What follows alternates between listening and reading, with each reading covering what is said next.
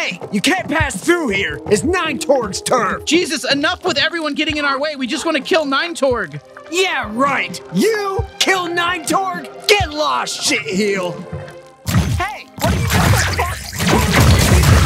Jason! Jason's dead! Welcome back to Games Radar live from Gamescom 2022. And Josh just got an early hands on with High on Life, one of my most anticipated games of the year. Tell us a little bit about it, Josh. Yeah, so High on Life is the brand new game from Squanch Games. It's sort of the brainchild of Justin Roiland, who is the co-creator of Rick and Morty. And it's just this really loud, kinetic, Metroidvania first-person shooter where, you know, aliens have descended upon the Earth and they've decided that they can turn humans into drugs they can get high off. Uh, so you become an intergalactic bounty hunter trying to take down a drug cartel of weird aliens. So yeah, it's Brilliant stuff. What more could you want? And of course, the kind of major selling point here, the Squanch Games kind of angle on this is all of the guns are characters that talk to you along the way.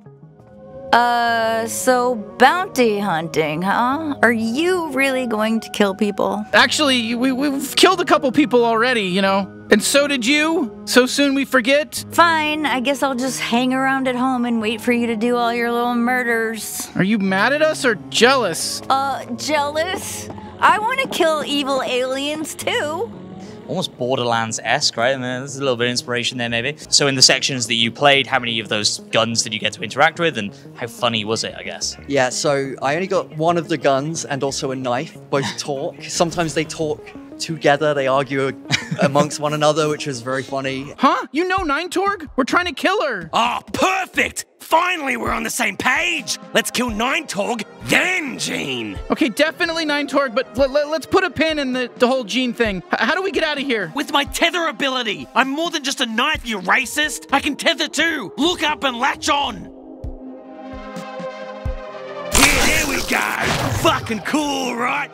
And yeah, basically, so I think there are four different guns, you know, slash four sort of companions that you have, and you can sort of switch between those as you unlock them. And they also connect to this sort of Metroidvania level design thing they're going for, where the guns have alternate fires, which basically unlock areas of different Right. areas you can go to.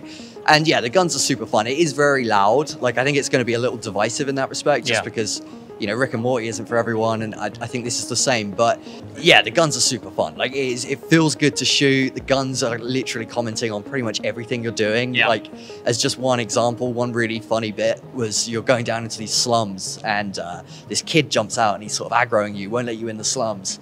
He's calling you fresh meat, and your character's getting really annoyed. You're like, we got this thing to do, man.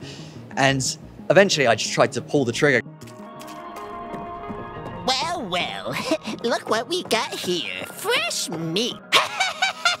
look at fresh meat getting flustered by a little kid. Just ignore him. That suit looks dumb. Whoa, whoa, whoa, what are you doing? Come on, he's just a kid. D- don't shoot him. Oh, you don't want to shoot me just 'cause your gun said not to, just 'cause you're your little gun. Oh, but you look, look how shootable I look. I look so shootable. I am not shooting a kid. Go ahead, do it. You shot me, I'm dead. Eh. All right, there. Are you happy now? Wow, I, I didn't think we'd be allowed to kill him. Yeah, normally, killing children in games isn't isn't allowed, but he's dead. We killed this kid. Are, are you happy now? it's basically everything you'd want from a Rick and Morty game without those characters and that world, but it's so it feels so right. It's yeah, it's so much fun. Yeah, so the, the interesting thing there, right? Tonally, we've had those Rick and Morty game style games before from Squanch Games, Trover Saves the Universe, and those kinds of things. Yeah. They've been VR focused and, and sort of not maybe as technical as a first person shooter, right? We have a lot of first person shooters in the market. They all feel fantastic. And so, how does this feel as a first person shooter divorced from the Squanch games? Yeah, so that was my sort of question, my concern Yeah. going in was how is this going to feel because you know gunplay is everything, right? Um, so it's really interesting. So they they started off as a I think when they did Trover they were about 20 people. They've Mm-hmm. now scaled up to 60, and they brought staff in from like some of the best sort of shooter companies like Yeah. Insomniac, a company that's known for you know great guns. They brought some experts in from there and a couple of others as well. So the guns, it actually turns out, feel great. Like it's kind of this. It's not like super technical. It's just kind of pull the trigger and shoot and strafing around enemies.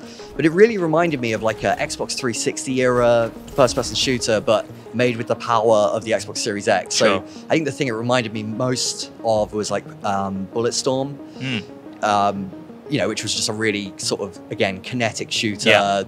very silly from from the 360 era, and that's what it kind of reminded me of. Just fast, fun, and you know, it just wants you to pull the trigger and shoot and keep moving forward. And you know, we don't get a lot of games like that really anymore. Yeah, so, absolutely. yeah. Absolutely. Well, like I said, it's one of my most anticipated games. So make sure you subscribe to Games Radar on YouTube, and I'm sure you will see a full review video when we finally get our hands on it. Absolutely. God,